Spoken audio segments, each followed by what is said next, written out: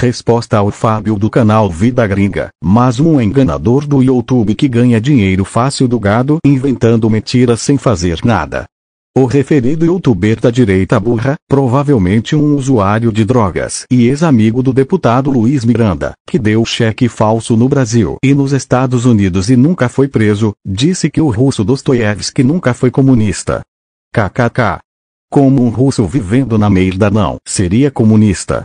O burro não sabe onde foi feita a primeira revolução comunista no mundo e quer debater comigo.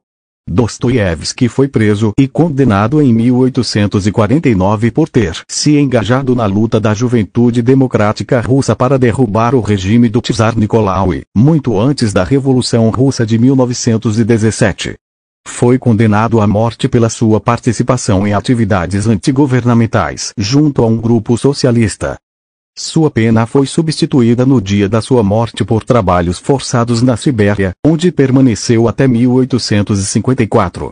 A vida de Dostoiévski é marcada por sofrimentos, em especial pela perda precoce dos pais ainda na infância, que o levou a mergulhar na depressão e no alcoolismo.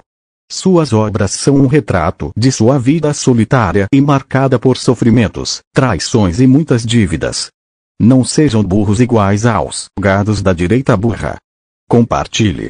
Se inscreva no canal e ative o sino para receber as notificações.